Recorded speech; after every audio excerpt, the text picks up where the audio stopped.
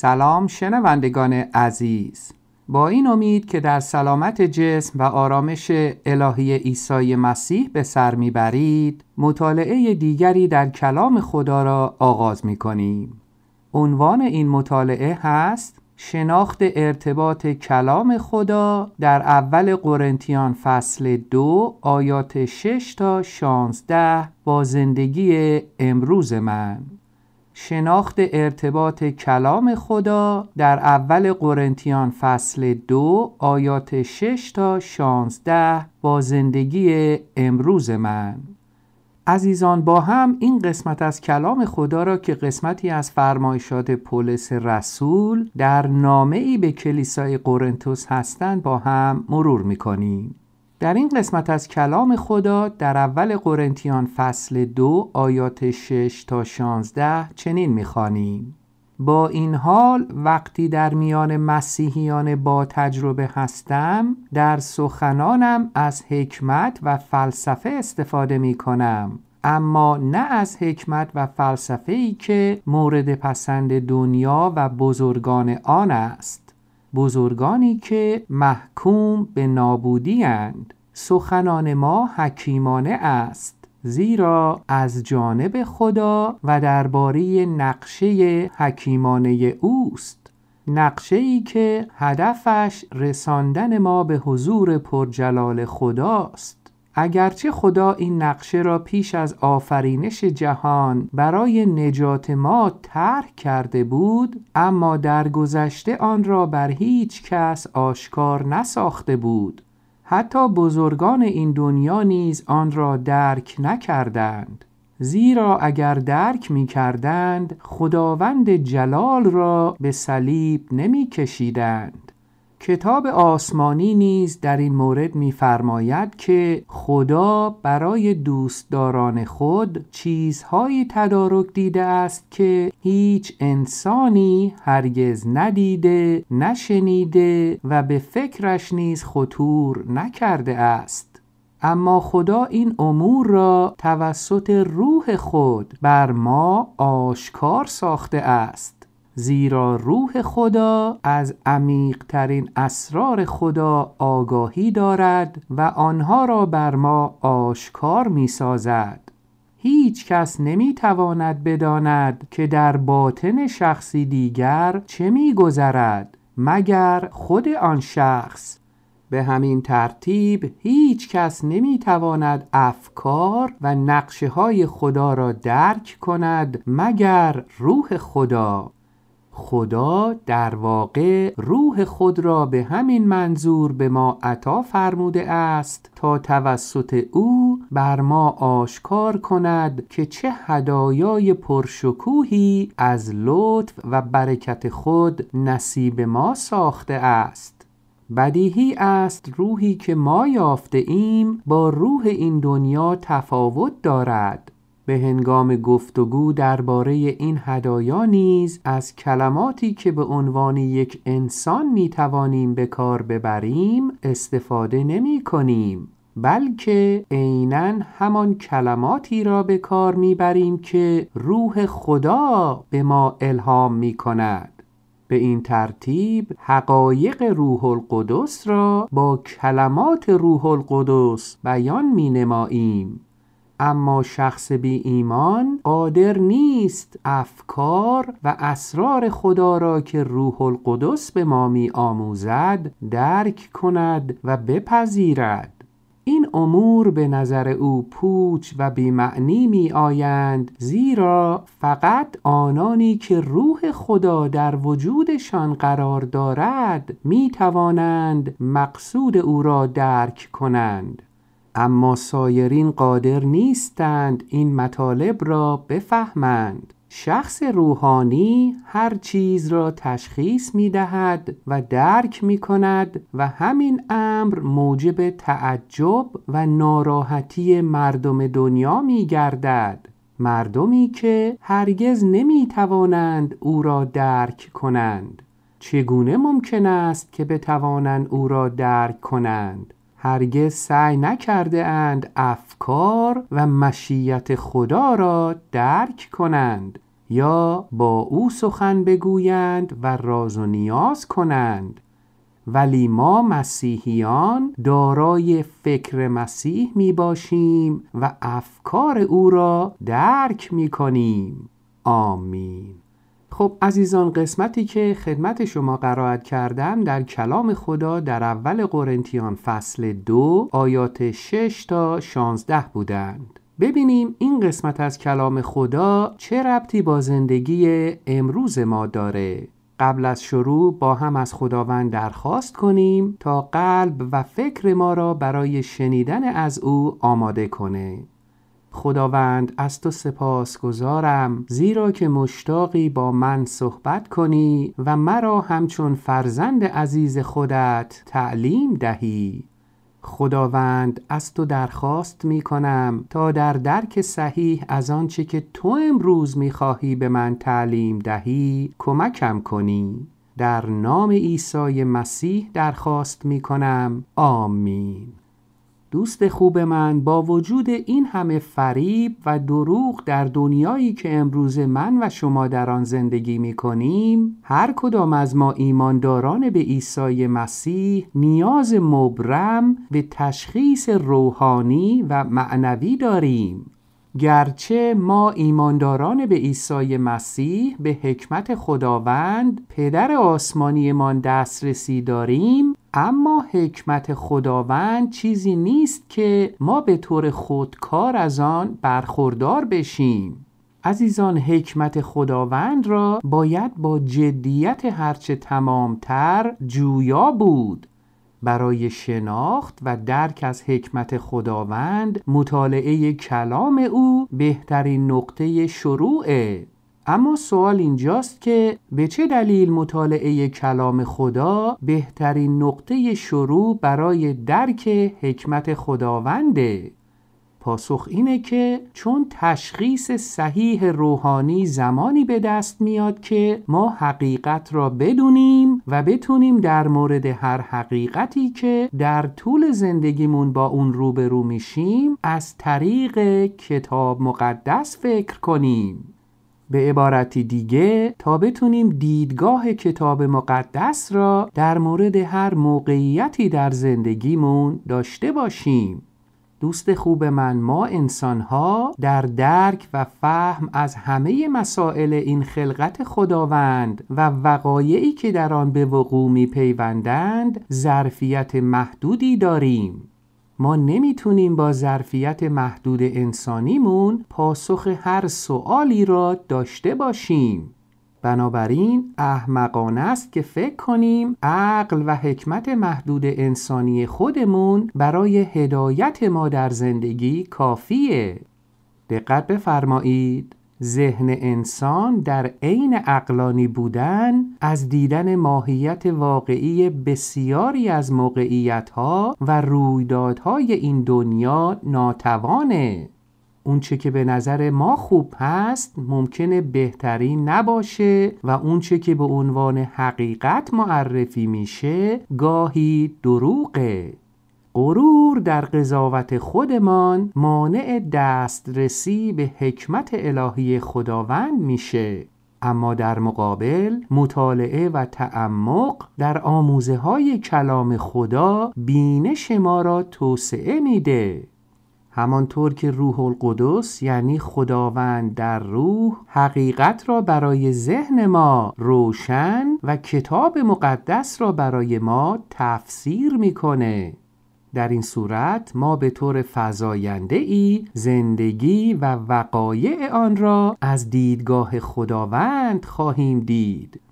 دقت بفرمایید. از طریق هدایت روح القدس و آموزه های کلام خدا ما ایمانداران به عیسی مسیح پیوند مستقیمی با ذهن خداوند عیسی مسیح داریم.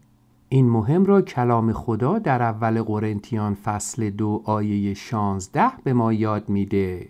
این آیه میفرماید چگونه ممکن است که بتوانند او را درک کنند؟ آنها هرگز سعی نکرده اند افکار و مشیت خدا را درک کنند یا با او سخن بگویند و راز و نیاز کنند. ولی ما مسیحیان دارای فکر مسیح می باشیم و افکار او را درک می کنیم آمین.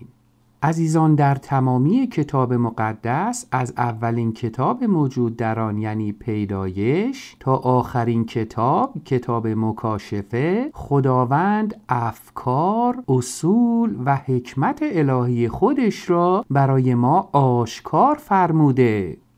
شاید در اینجا برای شما این سوال به وجود بیاد که چرا خداوند افکار، اصول و حکمت الهی خودش را در کتاب مقدس آشکار فرموده؟ پاسخ صحیح به این سوال اینه که تا ما بتونیم با کمک آنها در هر موقعیتی در زندگیمون استفاده کنیم. عزیزان به آیات کلیدی مطالعه امروز در اول قرنتیان فصل دو آیات 6 تا 16 برمیگردیم.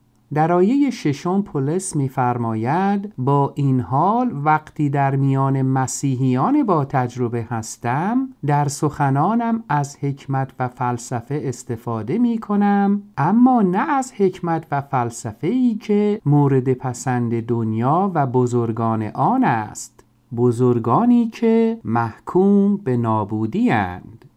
عزیزان متوجه میشیم که پولس رسول در سخنان خودش به دیگران برای معرفی شخصیت عیسی مسیح و حقیقت انجیل از حکمت و فلسفه انسانی استفاده نمی‌کنه.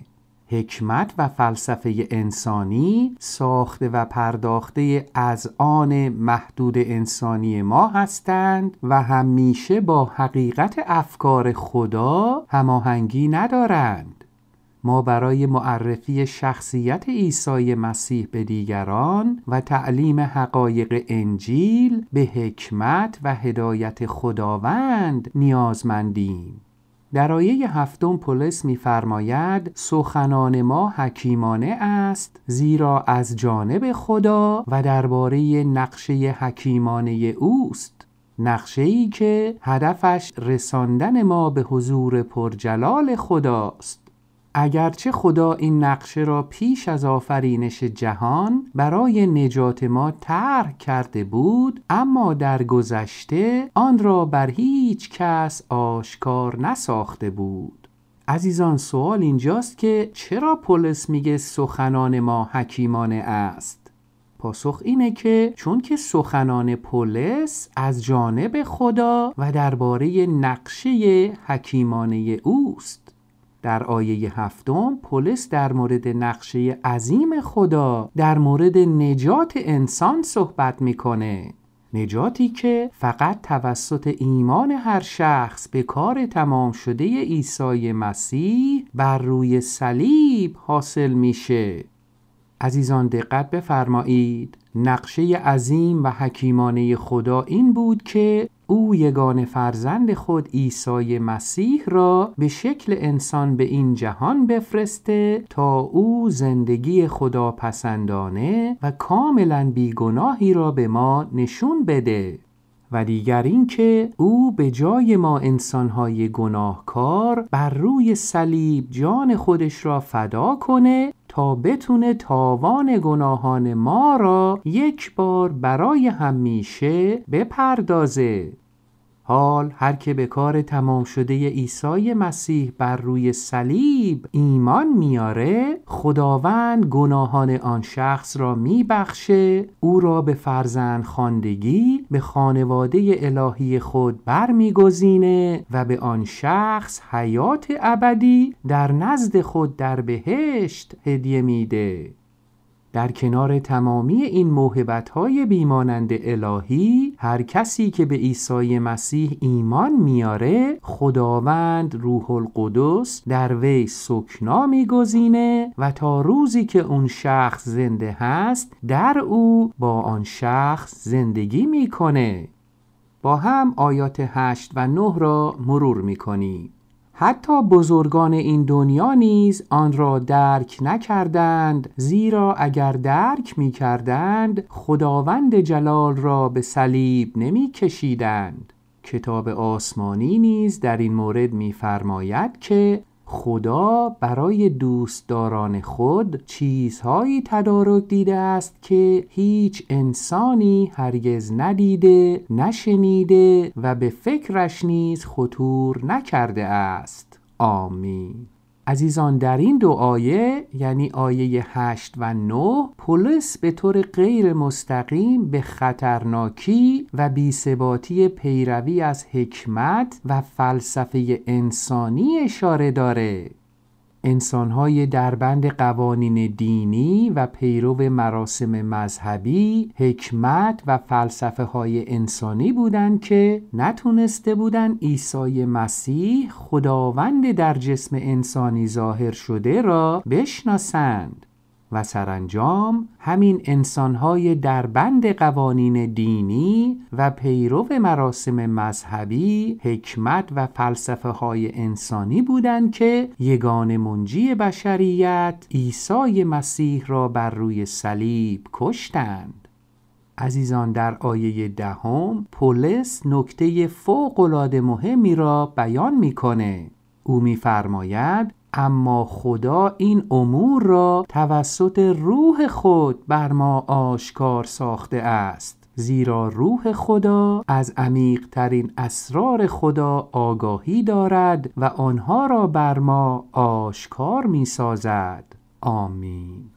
عزیزان همونطور که قبلا عرض کردم خداوند توسط آموزه های کلامش و هدایت روح القدس روح مقدس خود در درک افکار، اصول و حکمت الهی خودش به ما کمک می‌کنه. در آیه 11 پولس باز به اهمیت نقش روح القدس در جهت کمک به ما در درک افکار خداوند تأکید می‌کنه. پولس میفرماید هیچ کس نمی‌تواند بداند که در باطن شخصی دیگر چه میگذرد مگر خود آن شخص. به همین ترتیب هیچ کس نمی‌تواند افکار و نقشه های خدا را درک کند مگر روح خدا. آمین. در آیه دوازدهم پولس میفرماید خدا در واقع روح خود را به همین منظور به ما عطا فرموده است تا توسط او بر ما آشکار کند که چه هدایای پرشکوهی از لطف و برکت خود نصیب ما ساخته است. بدیهی است روحی که ما یافته ایم با روح این دنیا تفاوت دارد. آمین.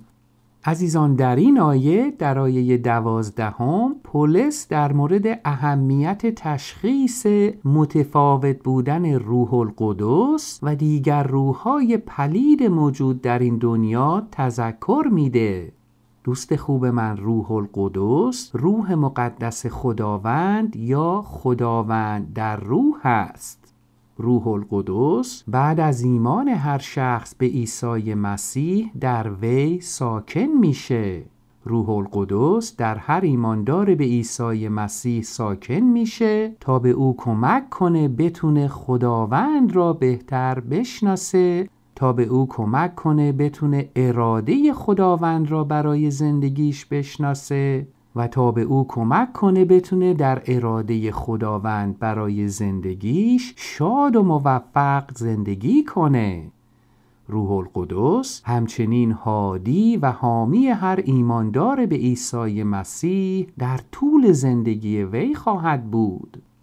اما روح این دنیا روحای پلید و شیطانی هستند که از شیطان فرمان برداری می کنند کار روح دنیا و ارواح شیطانی همیشه دروغگویی سعی در از بین بردن ایمان ایمانداران به خداوند و تعویق نقشه او در زندگی آنهاست و خرابکاری های بیشمار دیگر.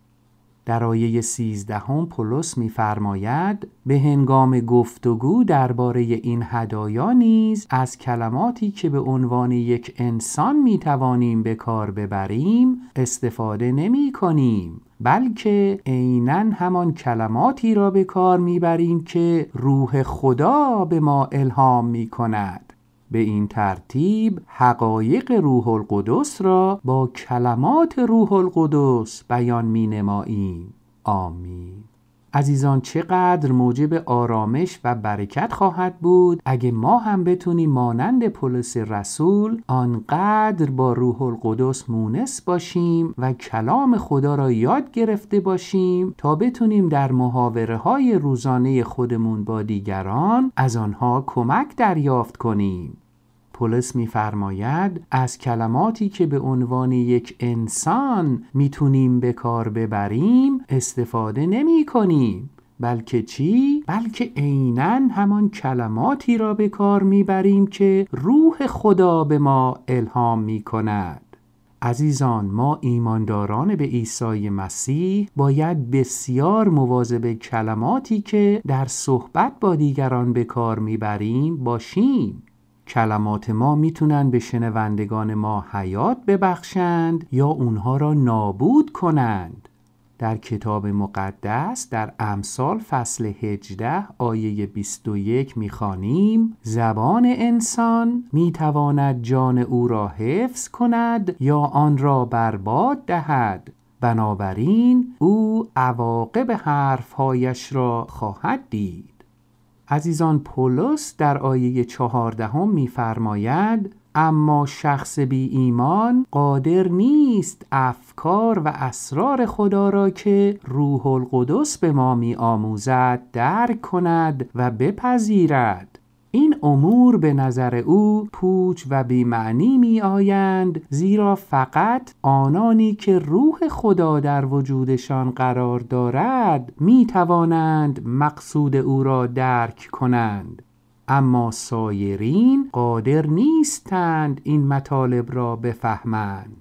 دوست خوب من با توجه به فرمایش پولس رسول یاد می‌گیریم که شخص بی ایمان نسبت به عیسی مسیح قادر به درک افکار و اسرار خدا نیست چرا؟ چون شخص بی ایمان به عیسی مسیح روح القدس روح مقدس خداوند را در خود نداره که در درک کلام او به وی کمک کنه پولس در آیه پانزدهم میفرماید شخص روحانی هر چیز را تشخیص می دهد و درک می کند و همین امر موجب تعجب و ناراحتی مردم دنیا می گردد مردمی که هرگز نمی توانند او را درک کنند.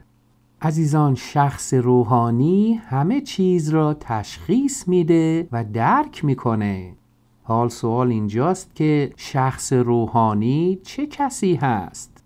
دقت کنید. به طور خیلی خلاصه شخص روحانی کسی هست که به عیسی مسیح به عنوان خداوند و منجی خودش ایمان قلبی داره. به علاوه این شخص روحانی کسی هست که تمام جوانب زندگی خودش را به روح القدس تسلیم نموده. شخص روحانی کسیه که زندگی پاک و بیگناهی داره.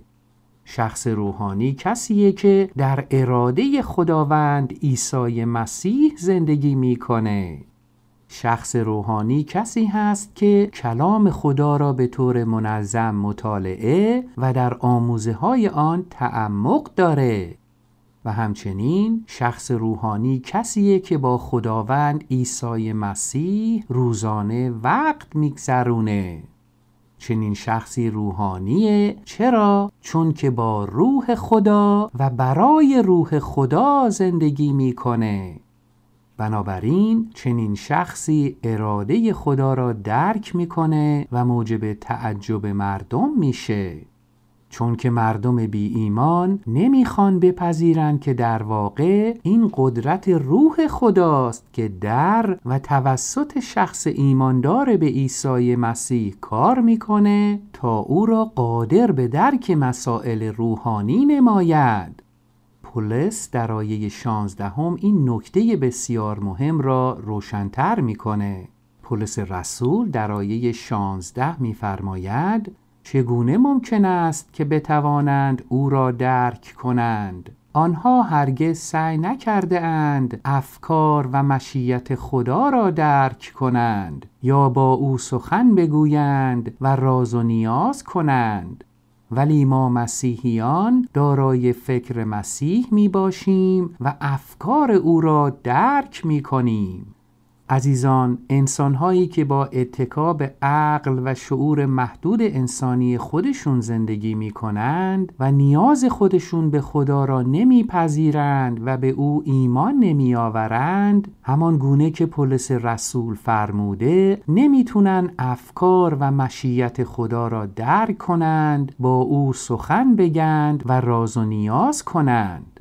ولی ما مسیحیان ما که به عیسی مسیح به عنوان خداوند و منجی خود ایمان داریم از برکت داشتن فکر او برخورداریم. این بدین معناست که خداوند عیسی مسیح توسط روح القدس به ما کمک می‌کنه تا افکار او را به طور صحیح درک کنیم. خدا را شکر. عزیزان امیدوارم که مطالعه امروز ما در کتاب مقدس تونسته باشه به شما کمک کرده باشه تا ارتباط کلام خدا در اول قرنتیان فصل دو آیات 6 تا 16 را با زندگی امروز خودتون درک کنید. همینطور امیدوارم آنچه که خداوند امروز توسط این قسمت از کلامش به شما یاد داد موجب شناخت بهتر از فیض، محبت و رحمت عیسی مسیح و روشن کننده راه زندگی شما باشه. آمین.